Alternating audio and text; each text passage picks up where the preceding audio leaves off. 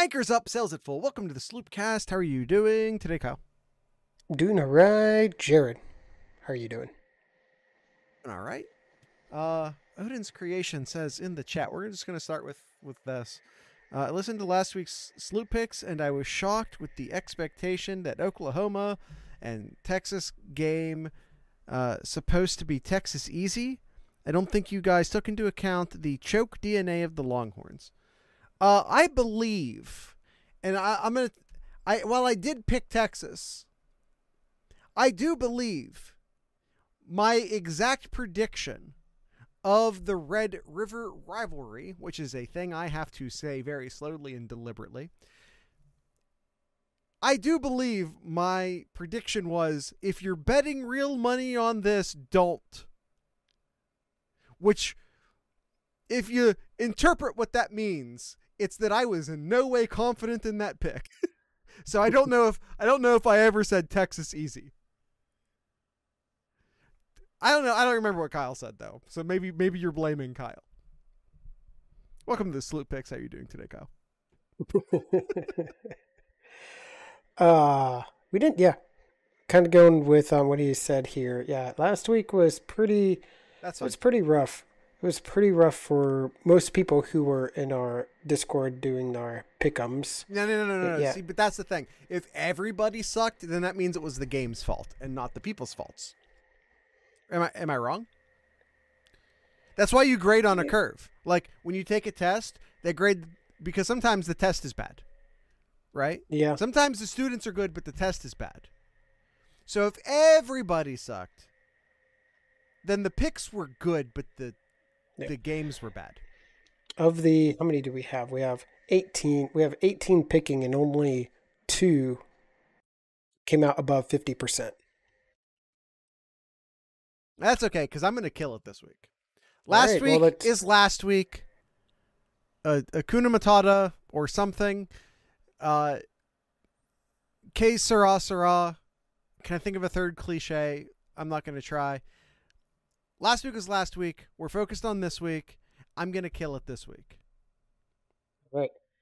Let's let's start us Last week here. is last week. The standard is the standard. Um, the offensive line sucks. Uh, yell at Lou Holtz, and ah, I had the rhythm of a last thing, but I couldn't think of something else to say. Roll Tide.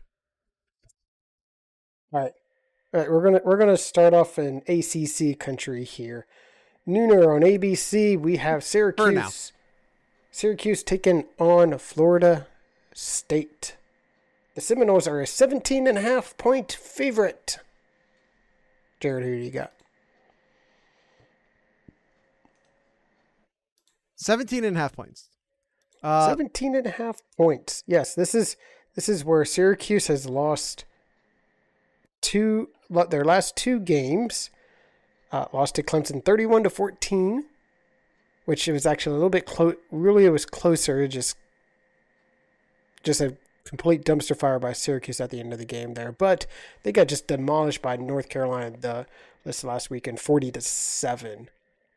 Started off strong, but yeah, I I don't think they're as good here. But um, I was going to let you pick Jared, but I'm going to go first here. Then um, you pulled a I'm gonna, I'm classic gonna, me and just interrupted me, and uh huh. I did. I I, I kept pulled a. Jared here. I'm going to go with the Seminoles. I'm going to pick the Seminoles here. I just don't tr- don't trust Syracuse here. Uh, I'm going to pick when in doubt, pick the quarterback. Going with Florida State here. Fair enough. Uh, the Orange started strong, uh, both in the win column and against the spread this year, uh, but they have begun slipping in both categories. But Florida State has struggled to cover against larger spreads this year. Uh, but since uh, this uh, particular number is under 20, we should be safe. 17 and a half points, not enough. Uh, give me Florida State. All right, Uh, Dinger. Austin Dinger. says 17 and a half points and FSU has 80% on the money in them on them in CBS. The line has since moved to 20.5. Yeah, I, I, I think I would take it at seven. I did just take it at 17 and a half. I think 20 would would scare me off though. What Yeah. does Dinger have to say, Kyle? All right, Dinger is our guest picker here. Uh, he says, "Will this will the semis be caught looking ahead to next week's top 25 matchup with Duke? Probably not, but Florida State has looked meh often, so 17 and a half is too rich for me. Pick Syracuse. Our, our our first difference right away. That's fun. All right. Uh, next one here is Oregon and Washington. This one also an ABC, and this is our early afternoon pick at 3:30 here. And Washington, in a seven versus eight matchup, is a two and a half point favor, which is pretty much home field advantage. Pretty much. I'll let you go first this time, Jared. Oregon is a perfect 5 and 0 against the spread so far this year. Ride the duck, Oregon. Ah, Short and sweet. That's all I need. But I can't, I, I can't, I can't go, I can't go against my boy um, Penix over there. He's he's a he's risen to the occasion so many times here. Uh, fan favorite here, rock steady. He's yeah, enough puns here. I got I got Washington. Uh, I don't know, man. I'll take Big Nix. Um, Austin says I love Washington, but if you're gonna give me points to take Oregon, I won't say no. Yeah, I, I mean, basically. I mean, it's pretty much a pick 'em. It's pretty much a pick 'em. But it isn't. Okay. Big Nix over Big Penix. Austin says. All right, Dinger. Dinger says here, welcome to the X Bowl. Nix versus Penix. I'll choose the longer one. Washington. oh, Dinger. uh Nice. All right, next game here, Jared. We're moving on. Is Kansas and Oklahoma State Fox Sports One, three thirty kickoff, and the Jayhawks are a three and a half point favorite. I had to make sure I was looking at that correct here, because I got the Cowboys in this one. I think I think the Cowboys will cover here. I'm just I'm not sold on Kansas here, uh, so I'll take I'll take Oklahoma State to to cover in this one. Uh, both teams, uh, both teams currently are 500 against the spread. I think I had to eliminate an OK State game against an FCS opponent to make that work. But let's just both teams are 500 against the spread this week or uh, this season. But OK State uh, lost to, and when I say lost, I'm not talking about against the spread now. I'm talking Yeah. real life football points. Oklahoma Yeah. State lost to South Alabama and almost is is almost egregiously Iowa State this year. Um, and some crimes cannot be forgiven. Uh, give me the Jayhawks. That's fair. That is fair. Dinger says the Cowboys lost to South Alabama, which Jared just said. That's real bad, and the Jaybirds are only giving up three and a half.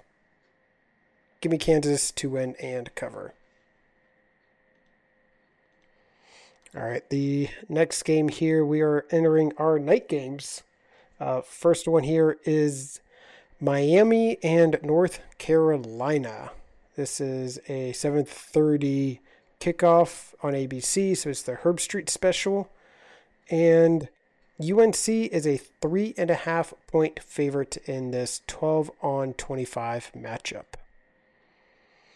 I will let you go first with this pick, Jared. Tar Heels are four and one against the spread this year. Miami is three and two against the spread this year. Miami just dropped uh, in dramatically stupid fa- dropped the game in dramatically stupid fashion uh, against a very very very bad Georgia Tech team. And I know I've said this a couple times on the podcast. I'm gonna say it again. Georgia Tech lost to Bowling Green this year in Atlanta. The team that just beat Yeah. Miami lost to Bowling Green. Uh, but UNC has yet to play a team with a pulse. When in This doubt, is true. when in doubt, pick the quarterback. Give me Drake Maye in North Carolina. Agreed. Yeah, I just I just don't trust the Hurricanes here, uh, especially when you got a head coach that refuses to uh, bend the knee here. Yeah. To to win the game. So yeah, I'll I'll take I'll take the Tar Heel Tar Heels to cover. Exactly. UNC knee. is just so mid, Austin says. I think we just don't know about UNC right now. We, we we don't. They don't play. I mean, Miami technically a ranked team here, but the rest of their year here, Virginia, Georgia Tech, Campbell, Duke, Clemson, and NC State. Not not really going to be tested that much now. UNC being UNC, they'll they'll lose a game somewhere in there though. They always seem to be. I mean, it would Duke would seem fitting. By the way, Yes. can I just point out something real quick? hmm Syracuse, Kansas, UNC, UCLA. Uh huh. We, we haven't talked about UCLA yet. We haven't. Why? why what's with all the basketball schools this year? I don't know. You tell me, Jared. You pick them. No, but I'm just, look at the AP top 25. Duke is ranked. North Carolina is ranked. Kansas is ranked. All the bas- Michigan, all the basketball schools, There you go. all the basketball schools are ranked this year. This only means Ohio State will dominate in basketball this year. I hope so. Michigan State Michigan isn't. State. Eh, is Michigan State still a basketball school? I said it. I said it. Okay. I said it. Uh, uh, what does Dinger say well, here? they aren't Dinger. the football school. Uh, hockey? No. Dinger says with Mario No Knee Cristobal at the helm opposite him, Mack Brown should make easy work in this game. Pick Tar Heels to win and cover. Quidditch. They're a Quidditch team, Jared. Here's the thing about Quidditch. Yeah, I'm gonna, I'm about to I'm about to go into some Harry Potter shit. First off, never Oh, read a book, never seen a movie. But what I know about Quidditch is that it was absolutely invented by someone who has no idea how sports work. Next question. Uh, the next question is is uh, who who do you have here in the next pick 'em here? USC and Notre Dame in their fourth primetime slot game. Uh, thankfully, they are at home for this one here, but it is their fourth straight 7:30 kickoff game on NBC.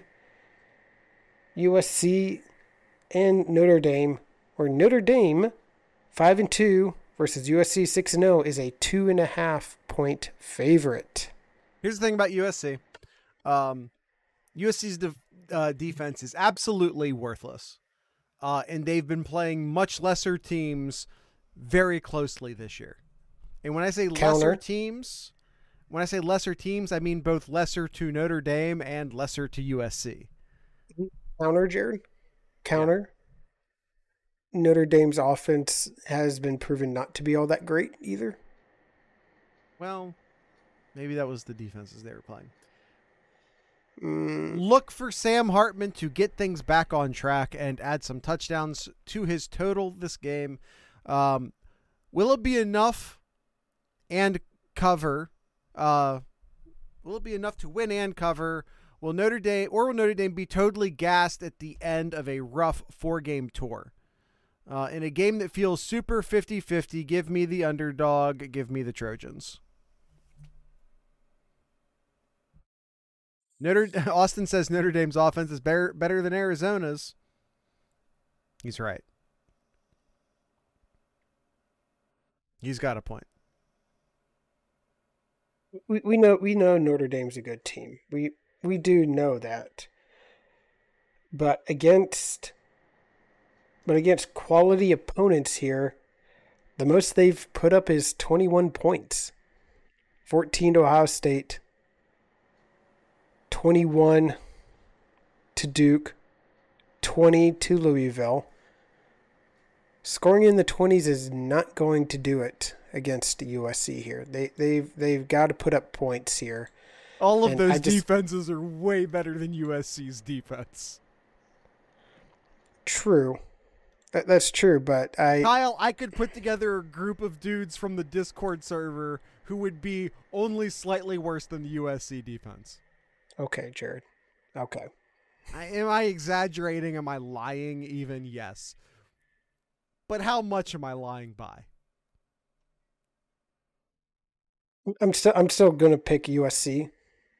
I just Notre Dame's just got to prove it to me on the offense. Defense, yeah, defense lights out. Defense is really good here, and I and I think they'll they'll be able to slow down USC. But there's only so much that a defense can do if they're constantly on the field. They're going to get tired here. The offense has got to got to start putting up some points here, and if they don't do that, I think USC's gonna gonna win this one easily here. But but we'll we'll see. Notre Dame's gotta gotta get some good drives here. They they start off strong in a lot of these games. They score early, but then they just kind of just die from there, and then they and then they somehow try to pick it up uh, towards the end of the game to potentially win it, and you, you, you can't do that against USC here. So I'll pick the Trojans to cover. Dinger, Dinger says the Irish will be looking to bounce back after the loss to Louisville and get to do it against a Grinch defense. USC is probably running low on luck after pulling it out against Arizona. Yep, in triple overtime. Uh, put that over under at 90, but I think Notre Dame's defense will stop Williams just enough. He picks Notre Dame. I'm just sorry. Um, I don't know if this is on. That is a lot. I, I'm sorry. I don't know if Dinger did this on purpose, uh, but just in case he did, I need to highlight something he wrote here. In a game between the Fighting Irish and, and the Trojans, he included the sentence running low on luck after pulling it out.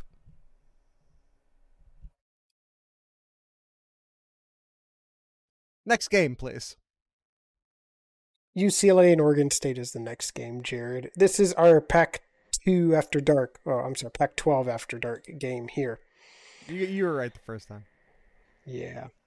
UCLA and Oregon State. 8 p.m. Fox.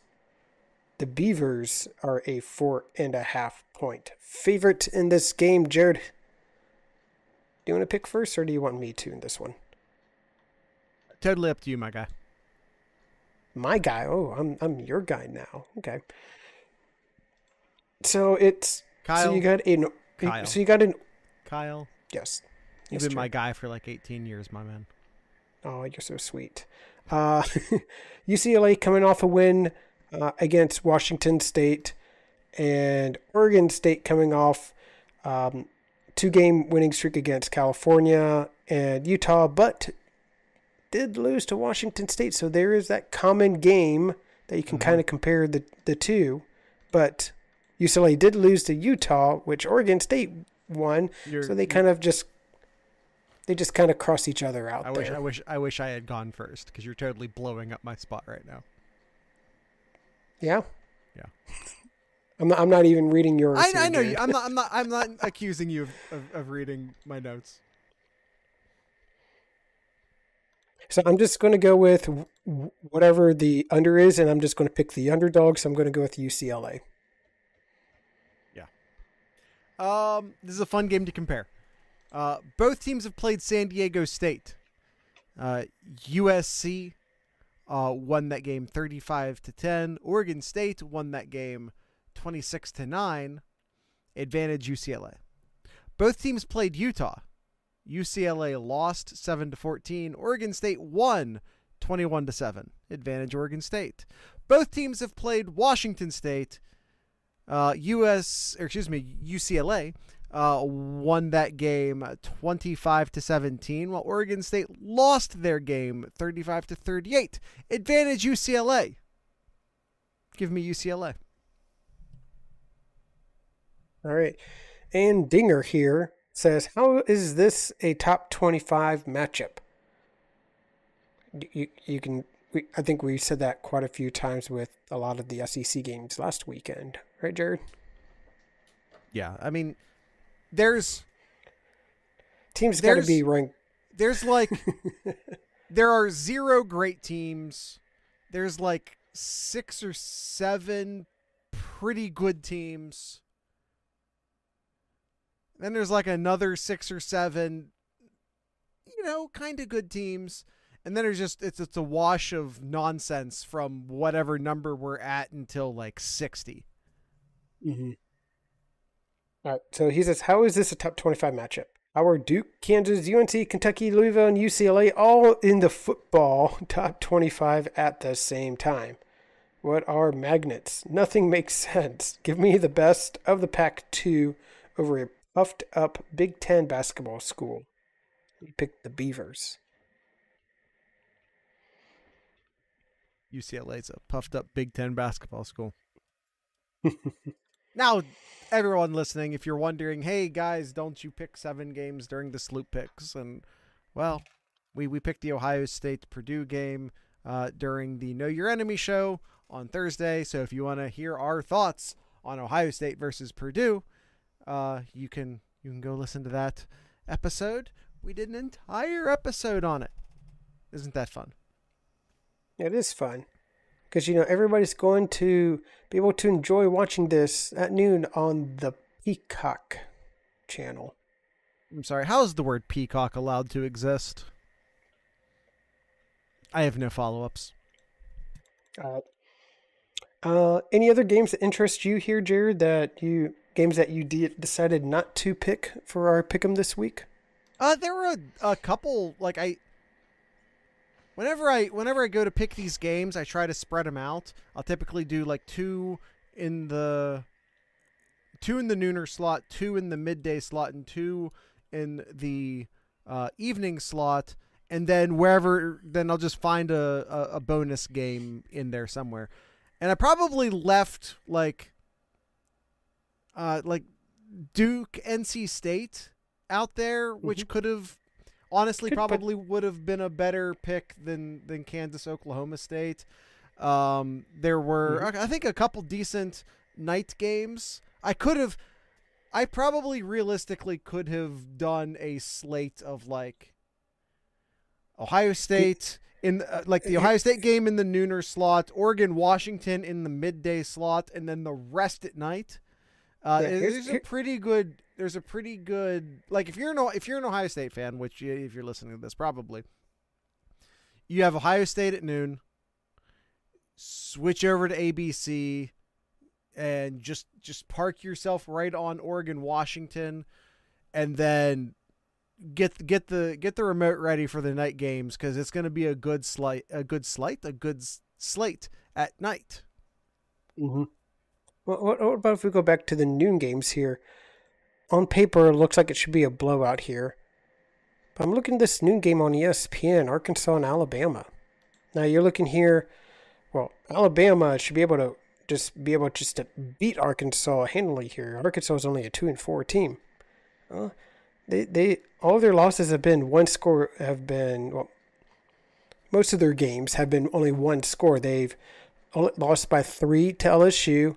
They lost by seven to Ole Miss here, which Ole Miss uh, did give Alabama some troubles there. So could Arkansas could make their way into giving Alabama some trouble here. So that that might be that could be a interesting game just to keep on the ticker to see see if Arkansas is staying in the game with Alabama. You know what I just remembered, Kyle? So they're Nebraska. Yeah, they're well, they're not 2023 Nebraska, but they're 2021 and 2022 Nebraska. Which which ranked team is on the highest level of upset alerts at noon? This So by Georgia- the, his between his question and what you just said, I just now remembered Kyle and what we're. This is Sloop Picks week seven. Didn't we used to, and I think we just totally forgot about it. Didn't we used to pick a chaos prediction? Um, Didn't- yeah, Didn't we used Yeah, to we just do. pick a game as our like chaos predictor? Should we start doing that again? let's do that. Let's do that. So the noon games here: Georgia, Vanderbilt, Michigan, and Indiana, Ohio State, Purdue, Florida State, Syracuse, Alabama, Arkansas. Those are your ranked teams for the noon noon games there. But don't feel like that you have to that you have to pick a, a noon game here, Jared, as your upset here. But who who do you think? Who do you think is on upset alert here? Um, did you pick? Are you pick? Are you picking Alabama and Arkansas as your? As you like your chaos predictor? Is that is that your stance on it? I have a heart. Let me see what other games are here. uh, Utah, California. Uh, isn't isn't um, Rising back in this game? I don't know. I have not heard. Anybody in the chat know? I I'm not sure if I he mean- is.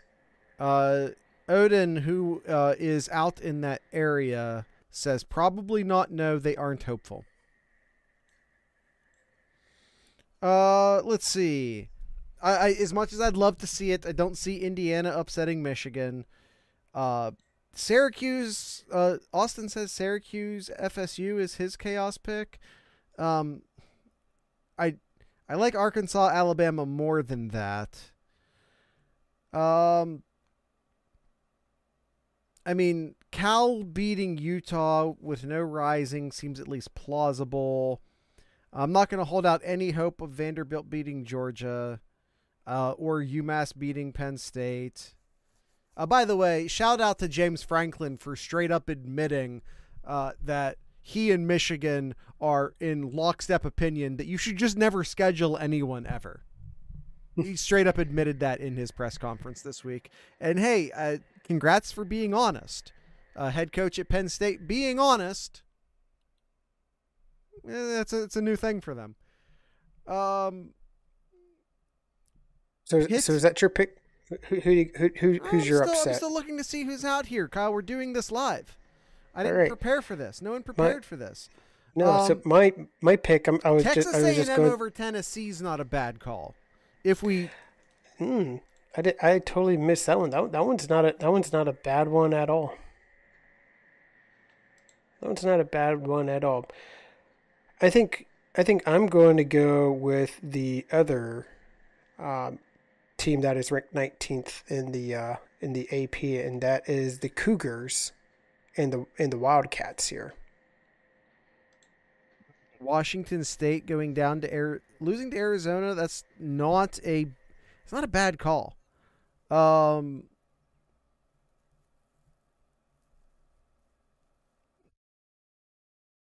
Miami beating UNC is at least plausible.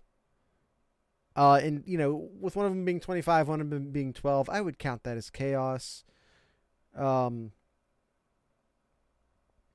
I suppose you could call Notre Dame beating USC chaos. Yeah, I mean it's a two-loss team beating a no-loss team. That would absolutely be chaos. Um, Yeah, I, I really I NC really like, State um, over Duke would absolutely. I, I feel like I feel like there's a lot of decent options for chaos here. Chaos Mm-hmm. pick has to be ranked on unranked. I think seems only fair. I mean, if you want to leave no room for interpretation, that would be the fairest way to do it. Yep. That being said, I'm absolutely dropping chaos alerts if Notre Dame starts to beat USC. Um, I mean, it's still it's a two loss team versus a no loss team. That's. But yeah, if we're if we're looking for if we're looking for like a hard black and white rule, I think unranked beating ranked is is the hard and fast rule there. Mhm. Um, I'm gonna go Texas A&M over Tennessee. Yep. All right. Good. and good are stuff. are you go are you going Arkansas over Bama? What was was No. that your pick? What's your pick? Nope. I'm going with Arizona. over Washington State. I think that's also a sneaky good pick. I was looking at Mhm. Some Arizona scores recently, Yeah, and, and- and I think they're yeah. playing teams pretty closely. yeah, their their quarterback, um, yeah, their, their quarterback here um, that's played these last couple games is actually not hasn't been all that bad here. Uh, Noah uh, Fafita, I know I'm going to pronounce that wrong here. Completing seventy, yeah, completing seventy percent of his passes, eight touchdowns to two interceptions in in the past uh, two games here. Yeah, I, I, really I really like him here. It's a true freshman um, here. I don't know if he's if it's because their quarterback's out here, but he he didn't really play much in the first games here, but got the snaps against Washington and USC here. So I, I have a feeling that feeling that Arizona would be sneaky. Um, might might might pull up the upset here.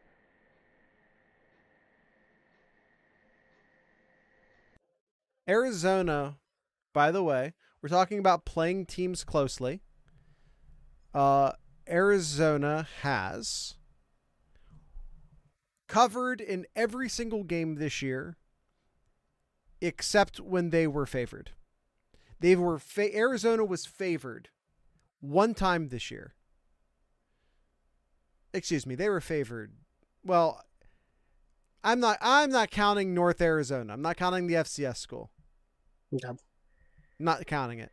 Uh, Texas El Paso. So they were favored against Texas El Paso, and they were favored against Stanford. They did not cover against Stanford, but they were dogs against Mississippi State, Washington, and USC, and covered in all of those games, including the last two games where they lost by only two to USC despite being dogged by 21 points, and lost by only seven points to Washington despite being dogged by 20 points. Arizona might be a bit of a sneaky good team, at least now that they have things rolling. And you said they have a new quarterback at the helm. That might be why they're rolling now, Kyle. I don't follow Arizona all that closely. Yeah, maybe, maybe here. At least when I'm looking at the stat wise, that's what it appears to be. They're started this season with a junior quarterback, uh, Jaden, and now going with Noah as their quarterback, true freshman. Yeah, it feels it feels a bit like a Terrelle Pryor play, doesn't it? Yeah, it does, doesn't it? Yeah, yeah. Uh, right, yeah. that, Hey, that is I might have to check out an Arizona game. They might be sneaky fun, sneaky good. You know, hopefully they just either aren't on the Pac-12 network or aren't kicking off at 10:30 this Mhm. week. they're, they're, they are a Pac-12 network. Of course they are.